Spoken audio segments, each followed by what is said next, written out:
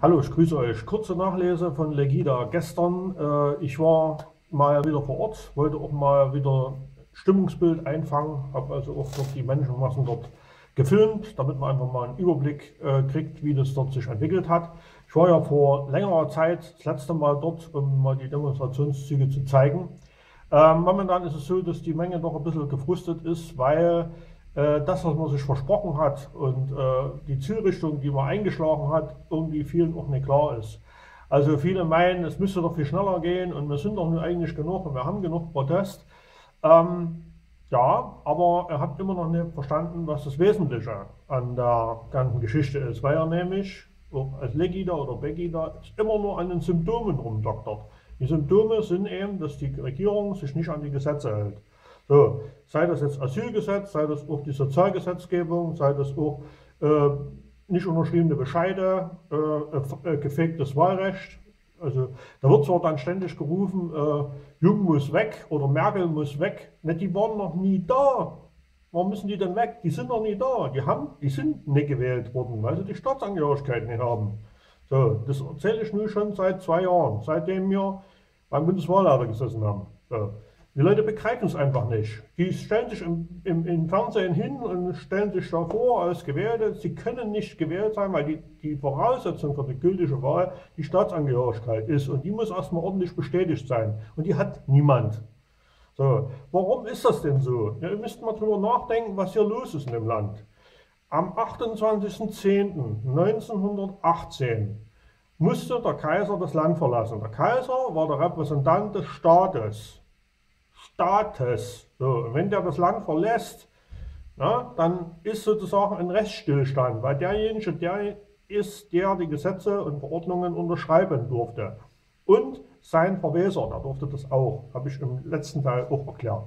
Wenn er das Land verlässt, kann also keine Gesetzesänderung, die eine staatliche Gesetzgeber erfordert, gemacht werden. Was gemacht werden kann, ist Notstandsrecht. So.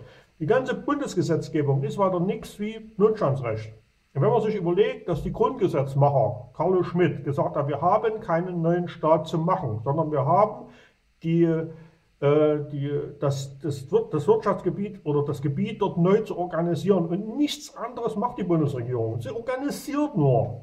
Aber sie sind, sie wären im Prinzip nur Notstandleiter, keine äh, gesetzlichen Gesetzgeber. Und deswegen äh, sagt Frau Merkel, ich kann ja nichts machen. Und da hat sie nicht mal Unrecht, weil sie nämlich als Notstandleiter es nicht machen muss. Aber wenn sie es macht, dann muss sie sich an die, an die Gesetzgebung der kaiserlichen Gesetze halten. Und genau das macht sie nicht, weil sie nämlich gar keine Deutsche ist. So. Und bei Gauck und ähnlichen Leuten sieht es ähnlich aus. So. Die haben alle falsche Namen. Frau Merkel heißt auch nicht Frau Merkel. Du musst doch mal richtig in den, in den Pass haben, in den Pass reingucken, den sie wirklich hat. Nicht den, den sie immer vorzeigt. Das müssen wir verstanden haben. Und ich bezweifle, dass es bei allen anderen grundlegend anders ist. Bei jedem im Ausweis steht drinnen Deutsch. Das heißt aber nicht, dass alle die gleiche Staatsangehörigkeit Deutsch haben. Deutsch ist einfach nur das Ersatzwort, dass die, die Staatsangehörigkeit noch nicht festgestellt worden ist. Weil sonst würde drinnen stehen Baden, Preußen, Elsass-Lothringen, ähm, also die ganzen 26 Bundesstaaten, die so im Russland stehen. Das müsste im Ausweis stehen. Das ist die korrekte Feststellung der Staatsangehörigkeit. Und mit dieser Staatsangehörigkeit darf ich in diesem Bundesstaat wählen gehen. So.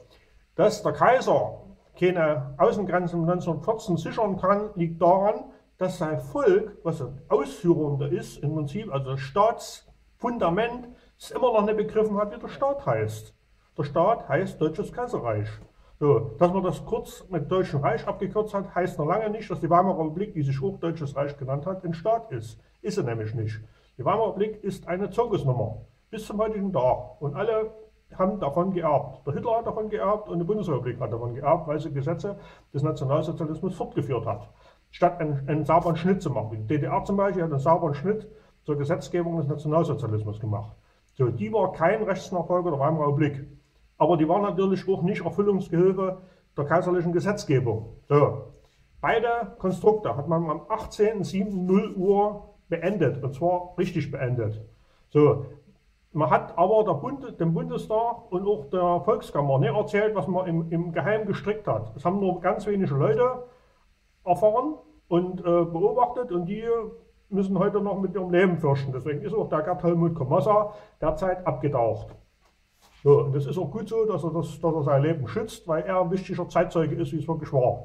So, sein Buch gibt es aber noch. Das heißt die deutsche Karte. Guckt mal einfach mal rein und dann kann man das dort nachlesen, dass es so war. So, was ist denn jetzt gemacht? Jetzt ist eine Täuschung gemacht worden. Es wurde wieder eine, eine DDR-Firma genommen, äh, eine EDV-Firma, die hat man Bundesrepublik Deutschland umbenannt und dann hat man die Firma einfach laufen lassen, weil man wusste, dass die DDR noch nicht abgewickelt war. So, nicht wirklich, weil die Verfassung der DDR konnte nur das Volk selber abschaffen, weil die Verfassung der DDR nun mal anders zustande gekommen ist wie, die, wie, die, wie das Grundgesetz, weil das Grundgesetz ja keine Verfassung ist. So, das ist das Problem. Und was die Bundesrepublik und die Frau Merkel auch nicht klären kann. Also solange wie wir immer nur wieder ja sagen, ja in Mitteldeutschland äh, haben wir ja das Grundgesetz, Jein, äh, das Grundgesetz ist nur deswegen in Kraft, weil die Leute einen Personalausweis haben. Ein Personalausweis ist das gleiche wie eine Krankenversicherungskarte. Man muss die, die Gesetze und Verordnungen der Krankenkasse beachten. Und wenn man einen Personalausweis hat, muss man die Gesetze und Verordnungen des Bundes beachten. Und deswegen gilt das OBIG, weil es nämlich die Ordnung ist, innerhalb des Betriebsgeländes des, des Konzerns der Bundesbannmeile sich geordnet zu verhalten. So, auch wenn da steht, Parken und äh, Dings auf äh, Booten und so weiter und Flugzeugen, die das äh, Wappen tragen, ist einem nicht erlaubt. Dann muss man sich überlegen, wenn man mit Betriebsausweis, Betriebsausweis, Personalausweis der Bundesrepublik unterwegs ist mit dem Kfz, äh, verlängert man die Bundesmeile in sein Fahrzeug. Das ist nun mal so. Deswegen verlangt ihr immer zuerst den Personalausweis. So. Und dann genau greift die Uhr weg. So, das muss man einfach verstanden haben. Da muss es keinen Geltungsbereich geben, weil der Geltungsbereich nur halt vom, vom äh, irgendwas äh, Bundes, ähm, ja, was ist das hier, Bundeskanzleramt mal so festgelegt worden ist, dass jeder, der nur Personal dieser Firma ist, sich an die Gesetzgebung der Personalchefin zu halten hat. Und das ist Merkel. So. Ist also nicht ein Staatsratsvorsitzende, was sie gerne wäre, ja, weil sie ja so Frau Honecker so, so, sich so engagiert hatte, sondern sie hat eben eine Firma aufgebaut, die so, die so heißt wie der ehemalige Bundesrepublik Deutschland. Und äh, das ist eine Nichtregierungsorganisation. Und die verwaltet alle Leute, die nicht wissen, wie der Staat heißt. Weil es ist nun mal leider so, dass die Leute in Deutschland immer nur ARD, ZDF und Dritten glauben. So. Und man kann nun mal nur einen, einen, einen gesunden und rationalen Menschenverstand bewahren, wenn man dieses Drecksprogramm einfach abschaltet. So, und das dauert eine Weile, bis die Wirkung der Gehirnwäsche nachlässt und bis man sagt, hä, was erzählen die denn ja alle? Und dann kommen die Gedanken. So. Und dann muss man im Internet grasen und suchen und machen. Und da sagt man, ach du Elend. So, ihr wisst ja, dass äh, die ehrenamtlichen Presseleute äh, schon ein bisschen eine Schulung kriegen. Will ich euch einfach mal so sagen. Also die kriegen dann ein paar Dokumente zugespielt, woraus sie erkennen können, wo wir wirklich stehen. Und zwar bloß die Anfänge weil sie wissen, dass jeder Journalist von Natur aus neugierig ist und da nachgrast und nachwäscht.